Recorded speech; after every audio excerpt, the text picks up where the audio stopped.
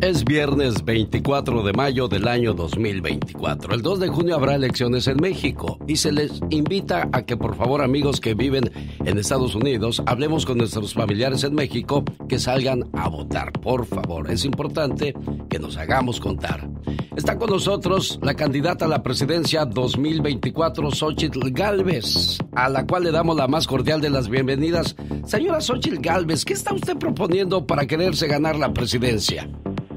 Genio, ¿cómo estás? Qué gusto saludarte. Pues mira, lo más importante es resolver el tema de la pobreza. El tema de la pobreza no se resuelve solo con programas sociales, son muy importantes, son necesarios, pero también es muy importante un sistema de salud. Y el gobierno actual quitó el seguro popular que permitía pues, que muchas personas pudieran atenderse. Lo primero es que regrese ese seguro popular para que tengan medicinas, tratamientos médicos. Y pues lo que mandan nuestros migrantes de las remesas, que permíteme saludarlos a todos ellos, porque yo considero que México es un país con 170 millones de mexicanos y para mí en este momento le estoy hablando a los habitantes del estado 33, pues no se vaya a comprar medicinas, realmente ese dinero se vaya en que la familia esté bien. Por cierto, con la inflación que hay en México, pues ahora necesitas mandarle casi el doble para que compren la misma canasta básica, porque acá el precio de la tortilla, del huevo, del aceite, todo ha crecido muchísimo. Lo segundo que yo quiero es una buena educación para los jóvenes, apostarle mucho a la tecnología, que aprendan a programar, que aprendan inglés, que tengan eh, una tableta digital todos los estudiantes y no solo los que tienen la posibilidad económica de tenerlo y con eso apostarle al desarrollo económico y empleo. Hoy tenemos una oportunidad bien importante que lo que se llama el nearshoring, que es la relocalización de empresas de China a México, y eso nos podría tener empleos bien pagados en México eh, con empresas de robótica, de inteligencia artificial, de semiconductores, todas esas empresas que podrían venir a México y darle buena mano de obra a los mexicanos. Entonces, básicamente es educación, salud y empleo bien pagado. Yo, como sabes, eh, genio, yo nací en una comunidad indígena con muy pocas posibilidades, migré a la ciudad, tuve la oportunidad de estudiar ingeniería trabajando y estudiando, como muchos. Por eso para mí las becas a los estudiantes universitarios son fundamentales para que hagan una carrera y puedan desarrollarse. Si quieren migrar a los Estados Unidos, bueno, ya vayan con más herramientas, preferiblemente que se queden en México.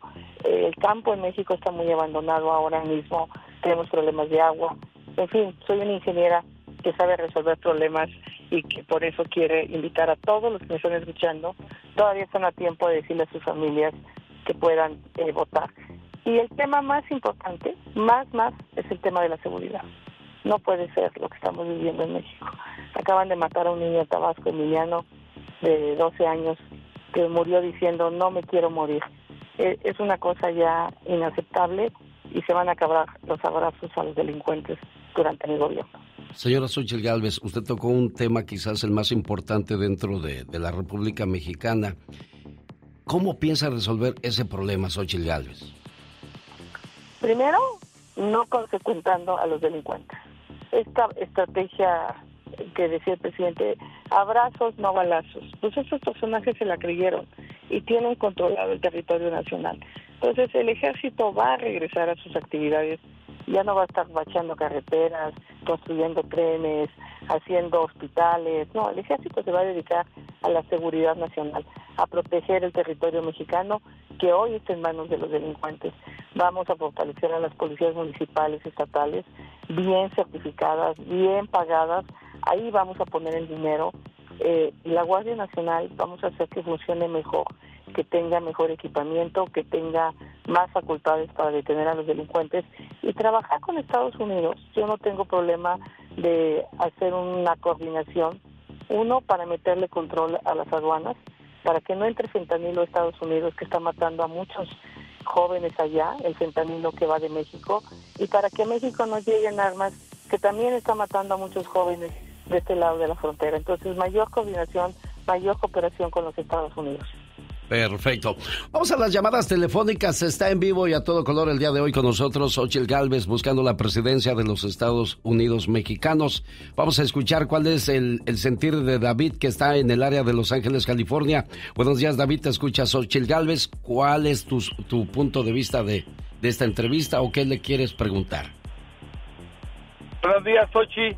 Ah, mi pregunta sería, ¿qué haría usted diferente a lo que está haciendo López Obrador conforme a ayudar a las personas de la tercera edad? Porque yo estoy viendo que hay personas de la tercera edad que están jubilados en Estados Unidos y sin embargo van a México, se registran y siguen agarrando también el dinero que está dando México. ¿Qué haría usted para poner un alto a eso? Bueno, obviamente la pensión es universal. Si estas personas son mexicanos, tienen derecho a esa pensión. Pero algo diferente es no solo darles una pensión, que tengan atención médica, las personas de la tercera edad, que tengan medicamentos que hoy no los tienen. Y también hay cosas que en su salud, como cirugías de cataratas, muchos de ellos quedan ciegos por no tener una cirugía, muchos de ellos no tienen dientes y no tienen los recursos para adquirir unas prótesis dentales. O sea, proteger a los adultos mayores y en ese sentido sí hay un compromiso muy importante decirle a la gente, hay programas sociales que no se van a quitar, eh, pero lo más importante es cuidar a los adultos mayores, que tengan sus tratamientos médicos, sus medicamentos, que hoy no los tienen en México. Esta es la radio en la que estamos trabajando para todos ustedes. Continúa respondiendo sus preguntas. La candidata a la presidencia 2024, Xochitl Galvez, para los Estados Unidos. Regresamos. En Nuevo León la tasa de homicidios se ha duplicado entre el 2020 y 2022. En el 2020 Colima fue el tercer estado más violento y la tasa de homicidios ha crecido 38%. Morelos y Zacatecas también son estados con tasas altas de homicidios que siguen empeorando conforme pasa el tiempo. La inseguridad en México es el tema principal, yo creo, a tratar de parte de los candidatos que buscan la presidencia a la República Mexicana.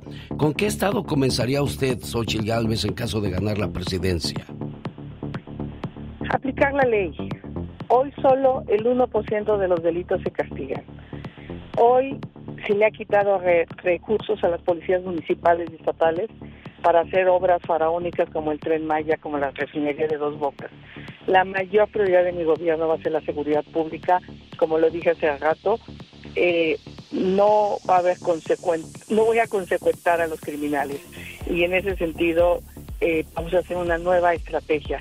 Los militares se dedican a la seguridad nacional. Vamos a tener policías civiles como debe de ser en todos los países. Xochitl, pero el eh, PRI y el PAN ya han pactado con estos grupos de criminales. ¿Por qué ahora no?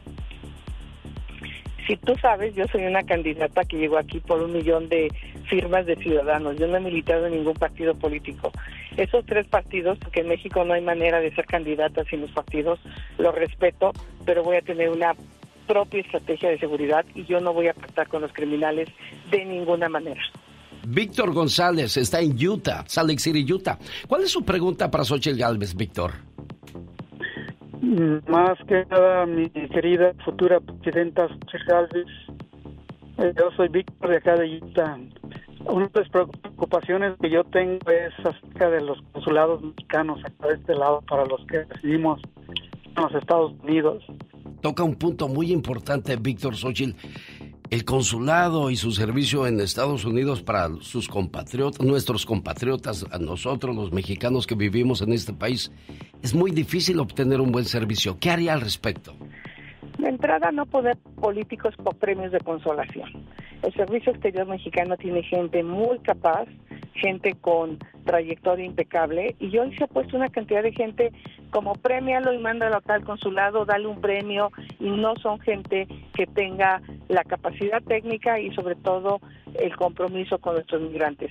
Darle recursos a los consulados. A eso sí me he comprometido eh, porque de verdad lo que yo recogí ahora que estuve en Los Ángeles, en estos campos de fresa eh, con mujeres, pues la verdad de las cosas en Oxnard, eh, me decían, yo tengo que perder todo el día para ir al consulado a Los Ángeles, llego y no me atienden. Y para mí significa dinero que dejo de recibir. Me pongo en los zapatos de la gente y mi compromiso será consulados profesionales con recursos suficientes, abogados que tanto ofreció López Obrador y que no les cumplió para ayudarles en la regularización en los Estados Unidos. Y obviamente yo no voy a aceptar de entrada que el presidente de Estados Unidos nos diga, van migrantes, los deportamos y tú aceptas. No, ok. yo acepto que vengan personas a México, pero tú empiezas a trabajar en la regularización de los migrantes mexicanos que están allá. O sea, tenemos que tener una postura más firme con los Estados Unidos para cooperar en el tema de migración. 35 años haciendo radio y por primera vez en la historia un candidato a la presidencia habla en este programa escuchando al pueblo, directo al pueblo, no a través de terceras personas, sino directamente. Vamos a Las Vegas, ahí está María y le tiene preguntas a Xochitl Galvez. Adelante María. Mire, yo no me la quería pedir que si ella queda de presidenta, ¿por qué no quita las casetas que cuando uno va a México, este tiene uno que pagar bastante dinero en las casetas? Ese es su problema de, de María. ¿Por qué tantas casetas, Ochil Galvez? Pues sí, son concesiones que se han dado desde hace muchos años, pero yo por lo menos lo que te quiero garantizar es que cuando vengas a México no te asalten y no te extorsionen los propios policías mexicanos, que eso también es otro dolor de cabeza para ustedes. Aquí en Los Ángeles, José Vergara tiene pregunta para Xochitl Galvez. Adelante, José.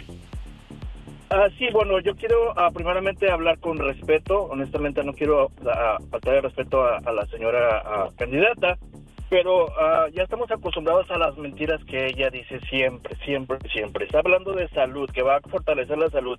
Ya se tiene una megafarmacia. Yo sé que ella va a decir que no funciona. El presidente en las últimas tres semanas ha estado visitando muchas partes de, de, los estados para verificar que todas las instancias que ofrecen salud se adhieran al programa de INS gratuito para todos. Ese es un compromiso que él va a hacer está la megafarmacia, también habló que va del trabajo, la reducción del desempleo se hizo en esta en esta administración, ah, el, lo de la pobreza, dijo que ah, va, a trabajar en lo de la pobreza.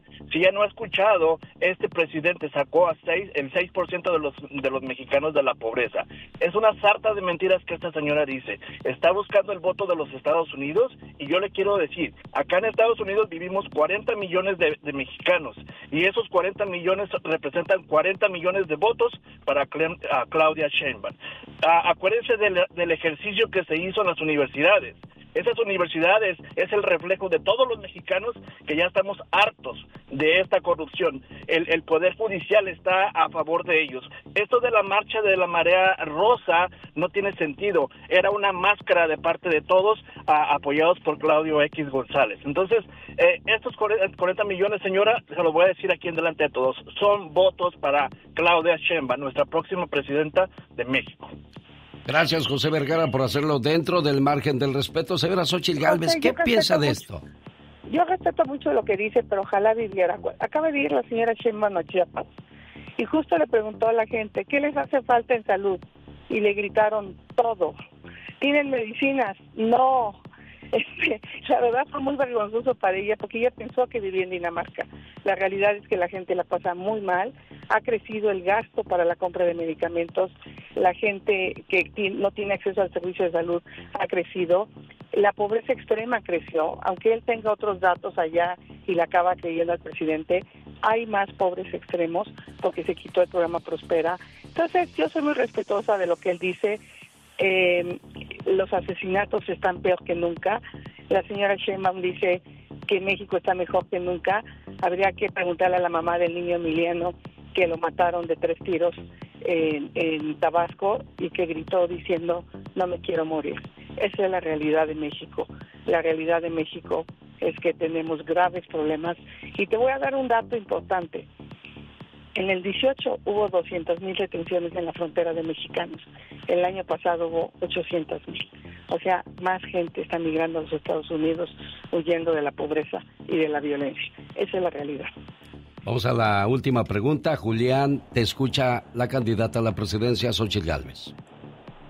Uh, señor Xochitl Gálvez, nuestra, nuestra nueva presidenta, eh, tengo la pregunta que siempre me ha molestado Aquí en la frontera López Obrador puso los, los soldados ahí y cada que salemos nos tienen cansados, esculcándonos todo. Eh, tiene, tiene soldadillos ahí, montones, hasta 20 en cada frontera. Y él quedó de meterlos a su, a su cuartel y ahí los tiene. Y, y, y, también me ganó la palabra la señora de las casetas. Anteriormente se ponía la gente y les daba paso sin pagar ahora puso el ejército ahí y, y a puro cobrarnos también. ¿Qué puede hacer usted para que, para que quite los soldados de aquí de la frontera Señora Xochitl. primero, yo he hecho un acuerdo para desmilitarizar el país, eso no hay duda. Los militares van a hacerse cargo de las actividades de seguridad nacional. A ellos lo que les toca es controlar a la delincuencia organizada. Eso sí que tendré que estar haciendo, no estar eh, extorsionando a los migrantes. Y por el otro lado, eh, voy a revisar la propuesta de las casetas. Yo no quiero contestar con mentiras, pero de verdad, pregúntenle a sus familias si el dinero que les mandan les alcanza pregunten a sus familias si tienen medicamentos y la respuesta va a ser no. Yo les invito a que le pidan a sus familias que me conozcan, que me apoyen y que voten este 2 de junio por una servidora. Vamos a trabajar duro para que México esté mejor. Tengan la certeza, yo vengo de abajo, eso es lo que les duele. Mientras la señora Sheinbaum bailaba ballet a los 10 años, su servidora tenía que trabajar. Soy como ustedes, vengo de abajo y voy a trabajar para ustedes. Ella es Ochil Galvez. Muchas gracias por haber accedido a esta plática con nuestro auditorio y, hacerle, pues, responderle a sus dudas, a sus preguntas y qué es lo que ofrece. Le agradezco muchísimo, Xochitl Galvez. Y este 2 de junio hay que ir a votar, ¿no? Que gane Cruz Azul. ¿Cuál es su pronóstico? ¿Cuál va a ser el resultado final, Xochitl Galvez? A lo mejor se ganan los 500 dólares que estamos regalando. Este, 2-1 Cruz Azul en el Azteca. No hablemos del asunto. Gracias, Xochitl Galvez. Bye.